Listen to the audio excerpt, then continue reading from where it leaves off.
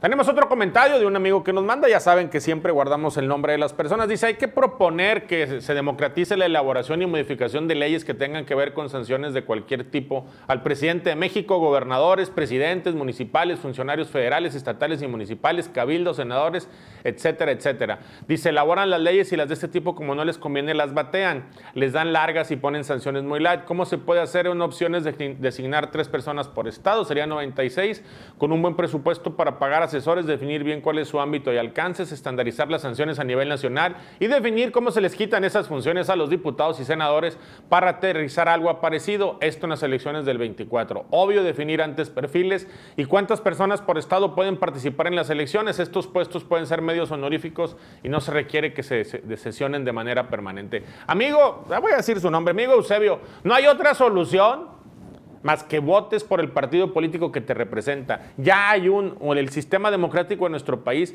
tiene muy claro los contrapesos, el poder legislativo a quien le toca. Tienes que votar bien porque si no votas bien pasa lo que está pasando en el Estado o lo que pasa en otros lugares. O si estás cómodo con lo que está pasando en el Estado, pues refrenda tu voto para las personas que están gobernando, tanto en el Congreso como en el gobierno del Estado. Es una decisión personal, creo que los instrumentos democráticos están ahí, se manejan bien, pero pues el asunto es que hay que aprender un poco a convivir con la democracia y entender la importancia del voto.